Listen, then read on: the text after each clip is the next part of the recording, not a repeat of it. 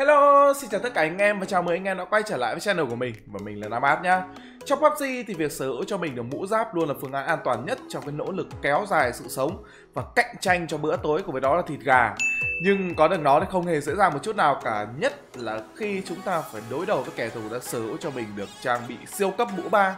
Vậy thì đâu là vũ khí sẽ giúp cho chúng ta nhanh chóng hạ gục được mục tiêu cùng với đó là đang sở hữu một cái vật phẩm cực kỳ xịn sau đó Hãy cùng với mình uh, chúng ta khám phá ngay trong video top 10 vũ khí có uy lực mạnh nhất khi headshot này nhé. Cùng mình đi thôi. Let's go!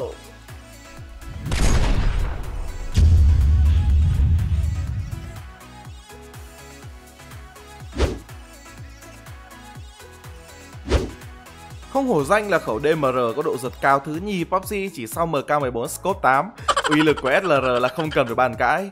Bạn sẽ dễ dàng hạ gục kẻ thù không mũ, chỉ với một phát bắn duy nhất vào đầu và kể là cả mũ ba đi nữa cũng sẽ chỉ nhẹ nhàng hai viên là tiễn hắn ta lên bảng đếm số mà thôi.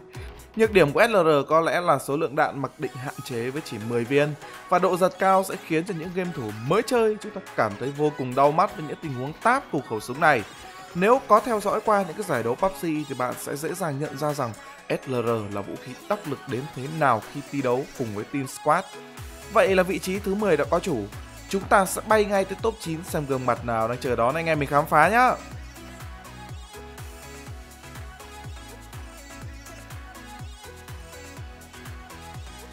Vừa nhắc Tào Tháo, Tào Tháo đã đến. MK14 chính là nhân vật tiếp theo nằm trong danh sách vũ khí có khả năng xuyên mũ lớn nhất. Cũng hai viên thì mới chết được mũ 3 nhưng MK14 lại có khả năng sấy khiến cho nó trở nên đáng sợ nhất là ở tầm gần. Điểm yếu của cái siêu vũ khí nằm trong thính này có lẽ là chỉ đến từ độ giật rất cao khi bắn auto. Điều này thì không quá khó hiểu, cho nên là một chú chuột có DPI cao như là Fullen X102S sẽ rất phù hợp để sấy MK14 không giật anh em nhá.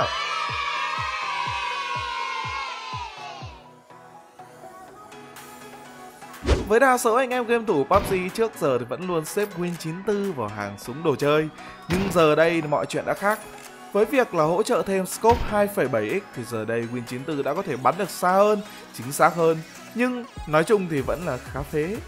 Điều đáng nói ở đây là uy lực của Win 94 vẫn xếp hạng 8 trong danh sách này, với việc cạo đầu một thanh niên mũ 1 và khiến hắn ta nằm sàn chỉ với một viên duy nhất mà thôi. Mũ 2 thì trừ khi là đối thủ yếu máu trước đó rồi, chứ nếu không thì chúng ta sẽ chỉ có thể gây được sát thương là 99 trên 100, tức là hắn ta vẫn còn một máu để mà lê lết vào một nơi nào đó để có thể heal lại vẫn là hai viên mới hạ gục được nhưng đó đã là một cái thông số rất cao cho một khẩu súng có tuổi thọ hơn trăm năm phải không cả nhà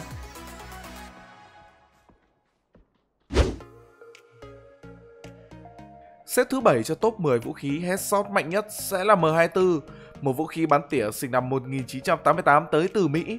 Với thiết kế tháo lắp và thay thế nòng hay báng súng cực kỳ đơn giản, M24 có khả năng hỗ trợ luôn cả cỡ đạn .338 trên khẩu M24A3 nữa. Quay trở lại với PUBG thì M24 đã bị nép nhẹ sức mạnh, khiến nó chỉ có thể cấu đi 84,3% máu của kẻ thù khi bắn trúng mũ 3. Và tất nhiên với mũ 2 là one hit kể từ vị trí số 7 này trở lên.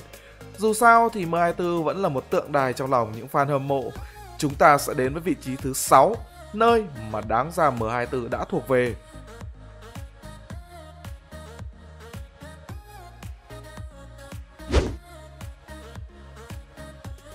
Từ những ngày đầu ra mắt, biểu tượng của tựa game PUBG này có uy lực kém hơn một chút so với M24. Nhưng theo thời gian thì những bản update đã đưa nhẹ đứa con cưng K98K này lên thêm một bậc trong bảng xếp hạng với sát thương gây lên mũ 3 tận 88,8 sử dụng cỡ đạn 7.62 x 57mm lớn hơn một chút so với của M24 nên có lẽ đây là một phần lý do khiến cho nó trở nên mạnh hơn chăng? Cơ mà vẫn phải hai viên mới đi đời được mũ 3 và cho dù là cái tên tiếp theo sau đây của chúng ta, vẫn không thể nào làm được đối phương nằm xuống chỉ với một phát bắn duy nhất. Chứ huống gì là ông lão sinh năm 1935 này, anh em nhỉ?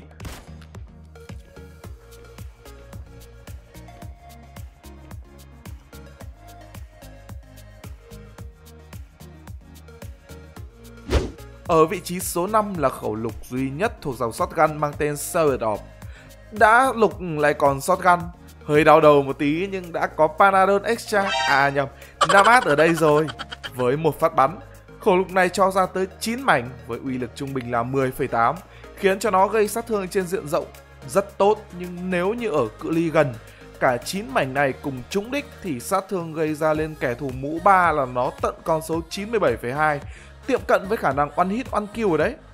Khẩu súng này chỉ có nhược điểm là không bắn được xa và ít đạn. Bù lại thì khả năng linh hoạt trong phạm vi nhỏ hẹp là cực kỳ đáng sợ, nhất là khi nó có khả năng thay đạn khá nhanh. Việc làm gỏi một team squad gần như là có thể chỉ cần anh em thật sự bình tĩnh mà thôi.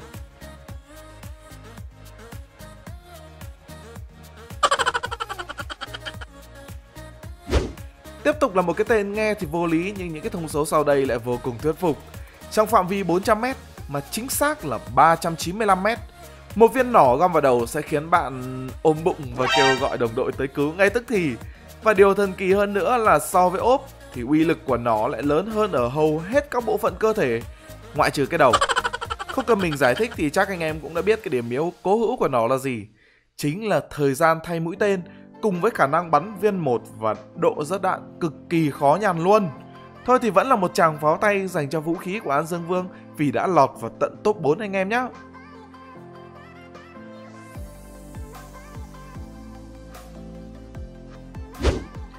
Lại tiếp tục là một vũ khí sử dụng đạn ghém 12 gauge nữa xuất hiện trong danh sách này.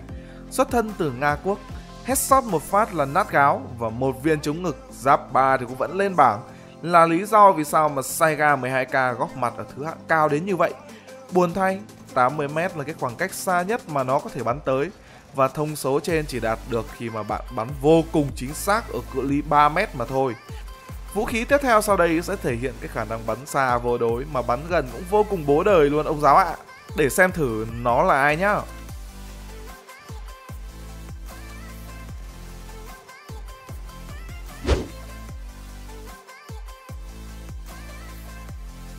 Xếp thứ hạng cao suýt nữa là nhất trong cái làng ăn tàn phá hoại mũ ba chính là huyền thoại dòng game FPS AVKM.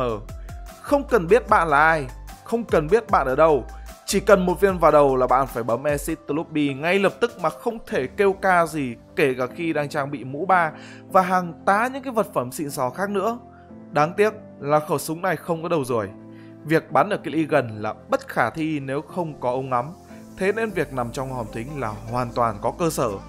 Ơ nhưng mà khoan, đến AWM còn đứng số 2 vậy thì ai sẽ là người số 1? Có lẽ cái tên sau đây sẽ khiến cho anh em vừa thấy hài vừa cảm thấy bờ mỗi khi sử dụng đấy nhá.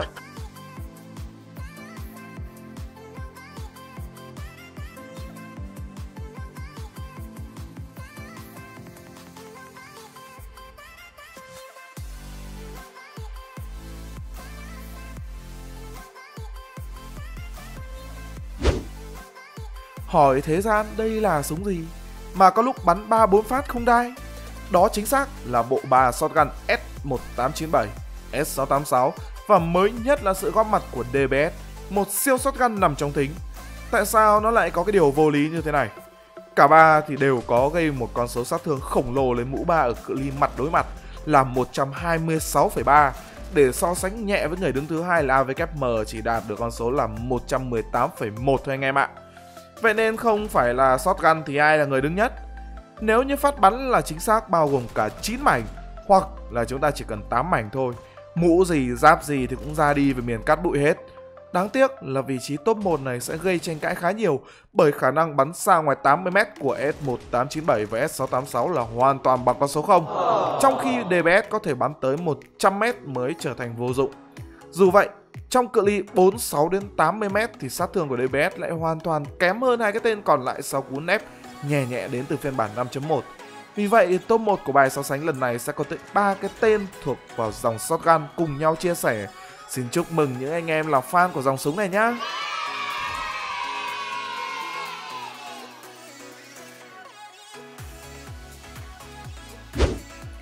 Như anh em đã thấy, mỗi khẩu súng đều có cho mình những cái ưu nhược điểm riêng biệt. Có thể bạn đứng nhất ở tiêu chí này, nhưng không có nghĩa là bạn tốt nhất. Những khẩu shotgun chỉ có thể bắn tốt ở tầm gần, ốp lại chỉ hiệu quả ở tầm xa. MK14 thì toàn diện đấy nhưng lại vô cùng khó kiểm soát, nhất là khi những cái phụ kiện của nó cũng không hề dễ tìm một chút nào. Bỏ qua hết những cái điều đó đi.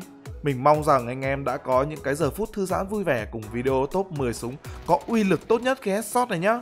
Chúc anh em có một ngày tốt lành và hẹn gặp lại anh em trong những game vlog tiếp theo. Bye bye!